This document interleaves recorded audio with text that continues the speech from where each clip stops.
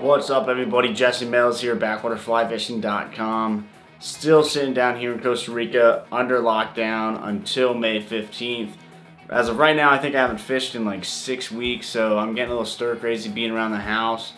I got some plans for the end of May and June if things open back up and I can get out and enjoy the outdoors. But until then, we're gonna have to keep doing some fly tying videos and this is a really cool crab fly that I'm tying here because there's a small chance I may find myself in Texas doing a little red fishing in August and we'll see what happens. But check out this fly. I think you're really gonna like it. I'm tying it for redfish. It probably looks like it could be used for permit or for bonefish, big bones. It's definitely if you tie it smaller, you can use this thing on bonefish, no problem. I think the fly itself has some really cool materials, some really cool ways of tying those in there. So let's check it out.